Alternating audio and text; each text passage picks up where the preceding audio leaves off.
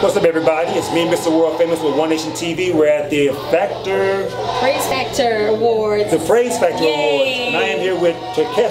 Turkessa. Hey, yes, this is Turkessa. Hi, everybody. Yeah, I just wanted to talk to her for a real quick minute and find out how long have you been singing? I pretty much have been singing all my life. I grew up in church, and I was the youngest to be a part of the adult choir, which was kind of nerve-wracking at first, but turned out to be a wonderful thing. Look what God has done now. Exactly. Amen. So tell us about your music. What do you sing about? What is the purpose of your music? Absolutely. So the name of my current album is hashtag Salt Nation. The message is you are essential, you are vital, you are needed, and you have purpose. Hashtag Salt Nation.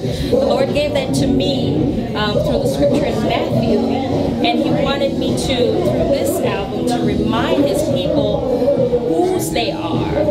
Remind them that they are salt in the earth. And so, because we are salt in the earth, we ought to influence the world. We ought to affect the world and cause positive change in areas that need to be changed. And then just, just wake up and know who you are. Know that you are God's. You are salt. And so you are essential, vital, needed, and have purpose in the kingdom of God. Now, where can we find this beautiful, beautiful music at? Absolutely. That this album, hashtag Salt Nation, is available on all digital outlets such as iTunes, Google Play, Amazon, Turkessa. Turkessa. Live at the Factor Awards Prayze, and